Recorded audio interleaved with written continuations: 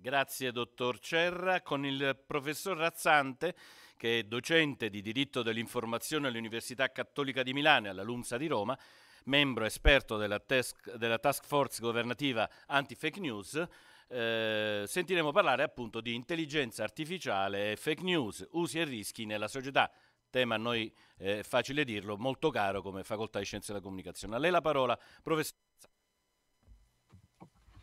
Buongiorno lei, buongiorno a tutti i partecipanti a questo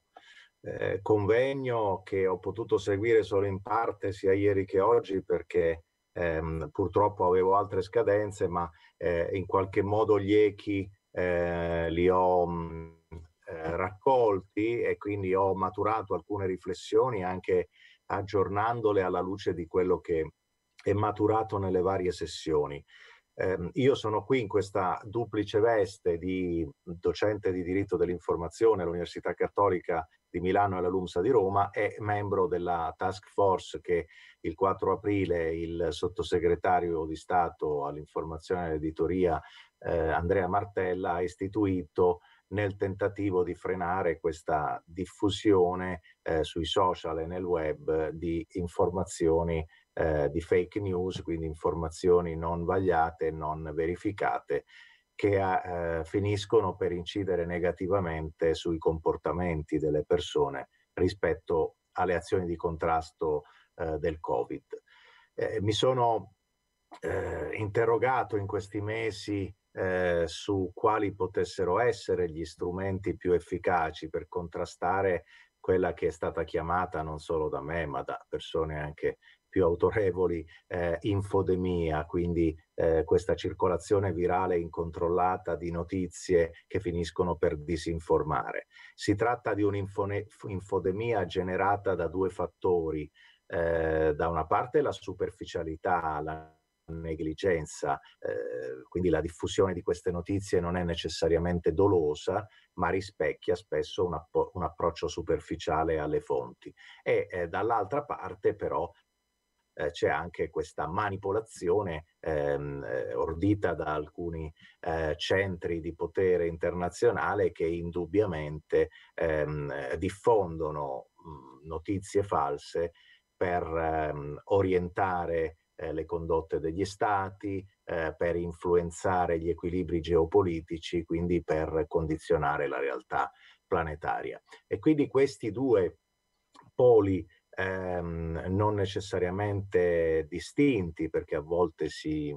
integrano, si fanno tra di loro, le fake news potremmo dire innocenti, incolpevoli e le fake news invece dolose, ha prodotto un'overdose di informazioni non vagliate e non verificate che soprattutto in materia di Covid hanno eh, generato eh, molto disorientamento nell'opinione pubblica e lo generano tuttora. Ci sono opinioni molto eh, diverse, molto contraddittorie, molto ondivaghe da parte di soggetti istituzionali che sul Covid hanno detto tutto il contrario di tutto. E i social si sono fatti cassa di risonanza e amplificatori di queste distorsioni. Eh, anche con il mio portale www.dirittodellinformazione.it che ho fondato un anno fa e che eh, vi suggerisco di eh,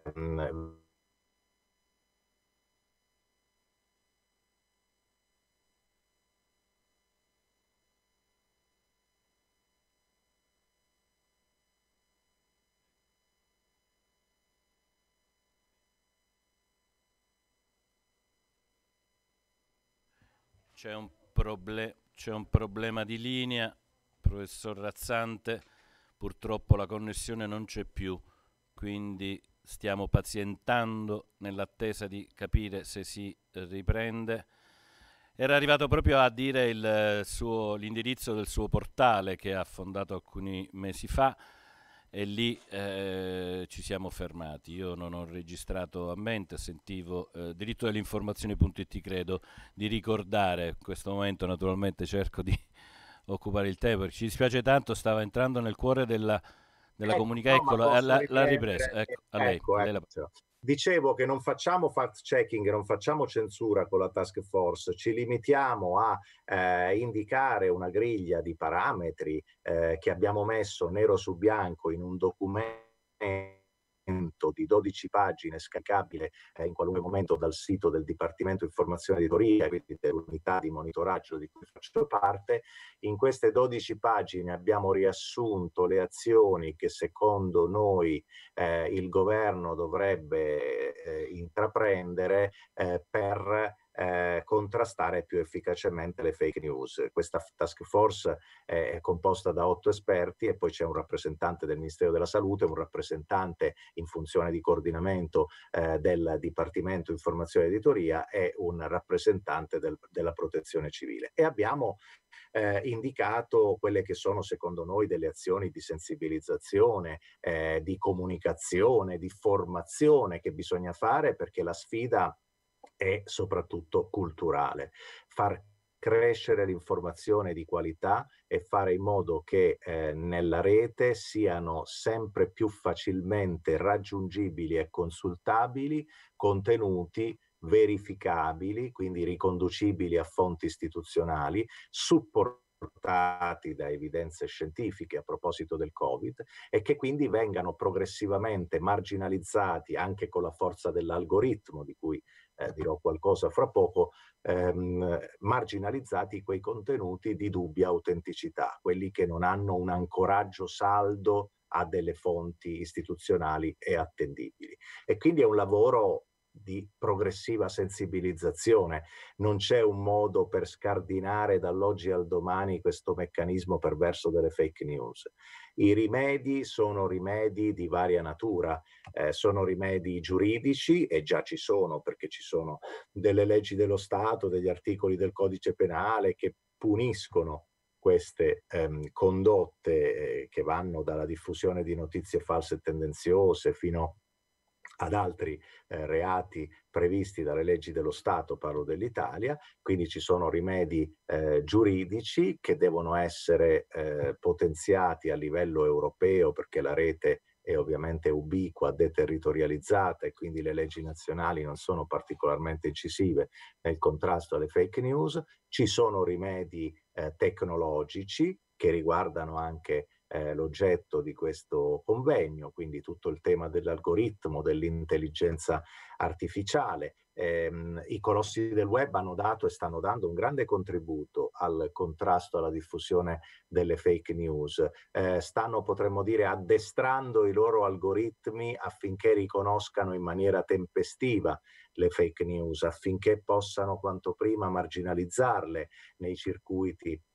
della rete per impedire che si diffondano, che vengano cliccate eccessivamente. E quindi il tema dell'algoritmo che si lega al tema dell'intelligenza artificiale e quindi si lega a tutte le nuove tecniche di deep learning eh, di cui eh, avete eh, già parlato in queste sessioni e che sono appunto delle tecniche fondamentali eh, che affinano l'intelligenza ehm, del, dell'algoritmo e fanno in modo che la riconoscibilità dei contenuti di dubbia autenticità sia sempre più nitida, sia sempre più efficace, proprio perché ehm, eh, l'intelligenza artificiale non può sostituire eh, il discernimento umano, ma può certamente potenziare le azioni di contrasto eh, contro le fake news. Quindi strumenti giuridici, strumenti deontologici, eh, strumenti tecnologici, strumenti deontologici. Eh, L'Unione Europea nel settembre del 2018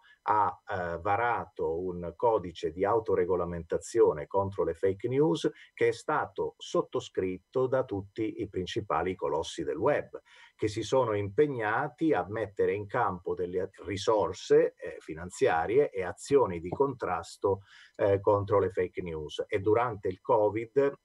nelle fasi più critiche della pandemia, eh, la Commissione europea ha richiamato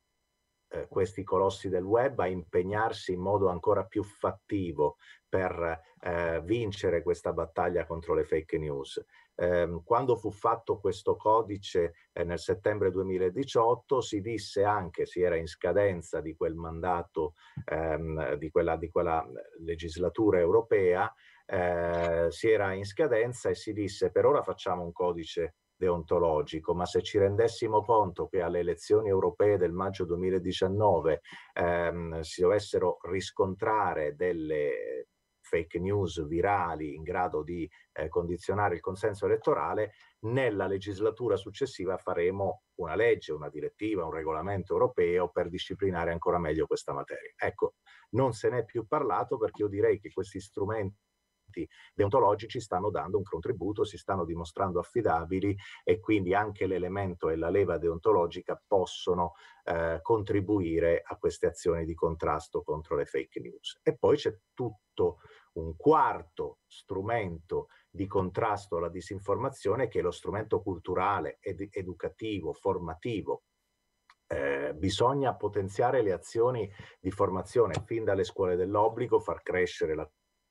cultura digitale, far crescere la consapevolezza eh, della necessità di avvicinare le, la realtà ehm, la, la, vita reale alla vita virtuale, quindi che nella rete si trovino effettivamente contenuti attendibili che rispecchiano eh, la vita reale delle persone, quindi formazione nelle scuole dell'obbligo, corsi di formazione non solo sull'utilizzo di device e quindi degli strumenti tecnologici, ma anche corsi di formazione sulla cyber security, per esempio, su come proteggere al meglio i propri diritti in rete, su come ehm, cautelarsi per impedire eh, la eh, violazione degli account, eh, dei big data, eh, degli archivi, dei database delle aziende, dei consumatori.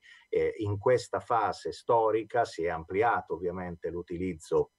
di internet, eh, tutti i dati documentano una digitalizzazione progressiva di fasce di popolazione che mai erano andate in rete, mai avevano aperto un profilo social, quindi è evidente che sono, si sono moltiplicati gli usi e si sono moltiplicati anche i rischi. La Guardia di Finanza è molto eh, più impegnata di prima della pandemia a smascherare tutti questi reati, a contrastare queste violazioni, quindi evidentemente c'è un tema anche di cultura eh, della cyber security che va eh, fatta crescere e va alimentata. E sullo sfondo, e eh, mi avvio alla, alla conclusione, c'è questo tema del giornalismo di qualità.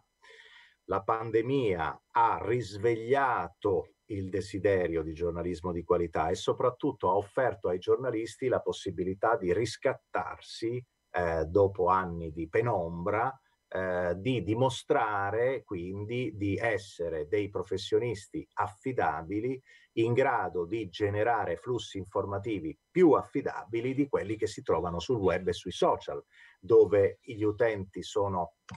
infinitamente più numerosi, ma sono utenti dilettanti, avventurieri, persone che non hanno una professionalità giornalistica riconosciuta e che pretendono spesso di dare notizie o di esprimere giudizi su cose che non conoscono. Purtroppo quei giudizi vengono condivisi e diventano virali e contribuiscono alla disinformazione. Quindi c'è un tema di riconoscibilità dell'informazione di qualità in rete. L'informazione di qualità in rete non è se sempre facilmente riconoscibile. Io anni fa lanciai la proposta di renderla riconoscibile attraverso la firma del giornalista affiancata dal numero di tessera professionale, che significa che l'utente che non conosce il nome e cognome di quel giornalista, ma attraverso la pubblicazione del eh, numero di tessera sa che l'autore di quell'articolo è un giornalista iscritto all'ordine professionale che quindi è vincolato al rispetto dei eh, principi deontologici eh, per la violazione dei quali rischia perfino la radiazione dall'albo, quindi poi l'impossibilità di esercitare la professione. Ecco, questo poteva essere uno strumento e lo può essere tuttora per rendere riconoscibile il lavoro dei giornalisti in rete. Ma, e qui eh, credo che ci sia la scommessa fondamentale da vincere, la valorizzazione dell'informazione di qualità passa attraverso l'adozione di tecniche di intelligenza artificiale che non vanno contro il lavoro giornalistico, ma possono esaltare le qualità del lavoro giornalistico. C'è una pubblicazione recente fatta dal Consiglio nazionale dell'Ordine dei giornalisti in collaborazione con un Ateneo eh, di Napoli eh, che mette in evidenza il ruolo che può avere l'intelligenza artificiale e quindi tutti i processi di automatizzazione del lavoro delle redazioni per potenziare la qualità dell'informazione, per aiutare il lavoro giornalistico, per favorire ehm, lo slancio creativo dell'opera giornalistica e quindi non bisogna eh, guardare in termini manichei all'innovazione tecnologica come un qualcosa che toglie spazio al lavoro giornalistico, che riduce i posti di lavoro. Non è così, perché l'innovazione tecnologica, l'intelligenza artificiale applicata al mondo del giornalismo non sostituisce in alcun modo la specificità della professione giornalistica, ma può contribuire anzi ad esaltare le doti del giornalista eh, ispirato eh, alla deontologia professionale e quindi eh, contribuire alla diffusione del suo prodotto giornalistico e al miglioramento dei processi di produzione delle notizie. E tutto questo si può fare soltanto in una logica di filiera, quindi mettendo attorno a un tavolo in modo sinergico e virtuoso tutti gli attori della filiera di produzione e distribuzione delle notizie, giornalisti, editori, colossi del web e altri soggetti impegnati a vario titolo nella produzione e distribuzione delle notizie. Quindi l'intelligenza artificiale può essere un volano, un moltiplicatore delle energie e delle risorse professionali del mondo dell'informazione a beneficio degli utenti che possono ricevere un'informazione sempre più equilibrata, documentata, verificata, attendibile, certificata, ma per fare questo l'impegno deve essere convergente e comune. Giornalisti, editori, colossi del web uniti in nome della difesa dei contenuti di qualità. E quindi tutti insieme possiamo combattere questa battaglia e vincerla per affermare una eh, informazione migliore per contrastare sempre più efficacemente le fake news. Vi ringrazio.